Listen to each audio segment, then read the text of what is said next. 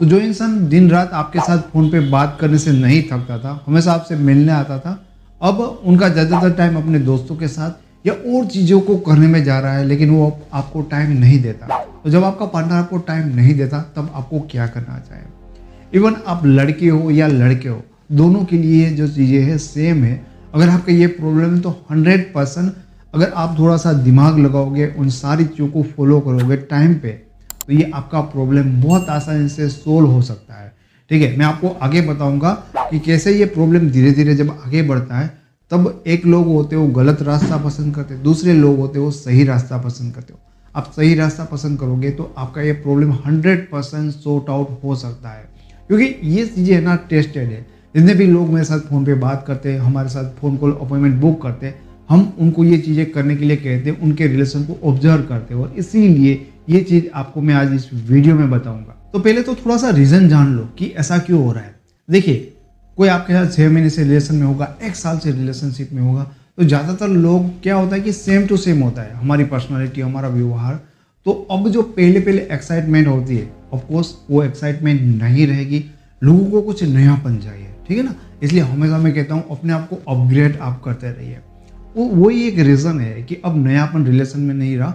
तो लोग बस जहाँ पर कुछ नई चीज़ें मिलते, ऐसी चीज़ों में बिज़ी रहना उनको अच्छा लगता है। पर मान लीजिए, आप हो या आपकी जगह पर कोई भी इंसान है, जब उनको टाइम नहीं देता उनका पार्टनर तो वो करते है क्या है?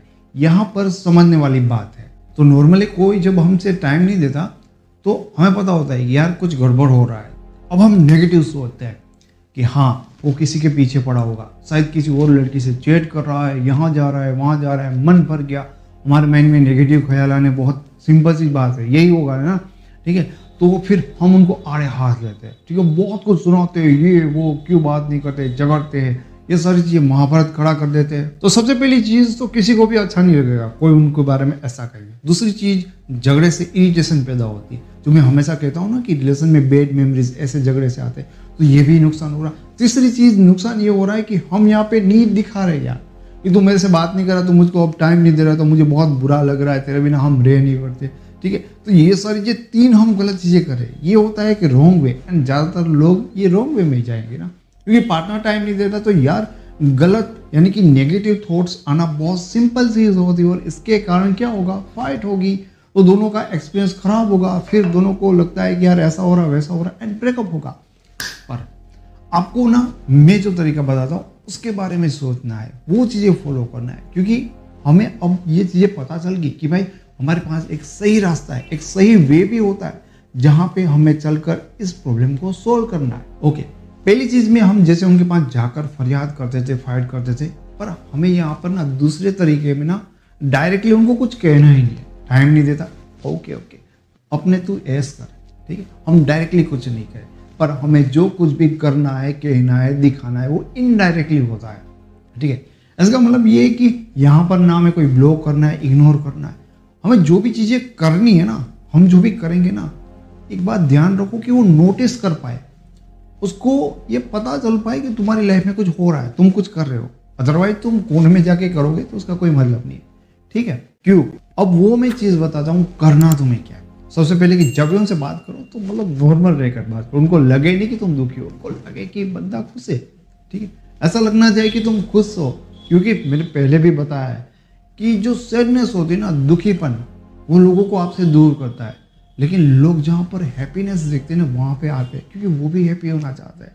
तो एक हैप्पीनेस तो अल्टीमेट आपकी ओर उनको खींचेंगे, ठीक है? तो वो चीज़ तो आप में होनी चाहिए। दूसरी चीज़, अब मैंने आपको पहले जो एक बात बताई थी कि भाई अब हम में कुछ नयापन रहा नहीं है। तो हम तो बदल नहीं जाएँगे, हम तो वही रहेंगे यार। पर हमारी जो लाइफ में चीज़ें चलती है ना, हम उनको बदल सकते हैं। ये मज़े की बात है और आपको यही करनी है। हमारी लाइफ में क्या चीज़ें बदल सकती है? अब हम उनके ऊपर फोकस करने के बजाय कि वो क्या कर रहा है, किन से बात कर रहे हैं, ठीक है, उनको फॉलो करने के बजाय, उनके ऊपर नज़र रखने के बजाय, हम ना अपनी लाइफ में मस्त हो सकते हैं। हम अपनी अपने आप में कैसे खुश हो सकते? इसके बारे में सोचिए। उनके बिना मैं अपना पूरा दिन कैसे निकाल सकता हूँ? और उनमें मैं खुश भी रहूँ? बहुत सारी चीज़ें हो सकती। आपकी हॉबीज़ आपके दोस्तों के साथ इंजॉय करना, बहुत ऐसी चीज़। है एंड उनमें, साथ में साथ में ये चीज़ें होनी चाहिए कि भाई, एक खुश बंदा होता है या बंदी होती है, वो अपना दिन कैसे स्पेंड करता है? वो बहुत ही अच्छी तरह से तैयार होता है शॉपिंग करता है, कपड़े पहनता है। ये चीज़ें दिखनी चाहिए तुम्हारे पार्टनर को। जो मैं ये कह रहा हूँ ना, कि तुम्हारी लाइफ उनके बिना भी खुश हो। क्योंकि यहीं पे पॉइंट है। यहाँ पे ही सारी चीज़ें छुपी हुई है। क्योंकि इस टाइम पे ऐसा भी हो सकता है कि वो तुम्हारे बजाय किसी और को टाइम दे रहे, किसी और के साथ बातें करे और वहाँ पर बिज़ी हो। ठीक है?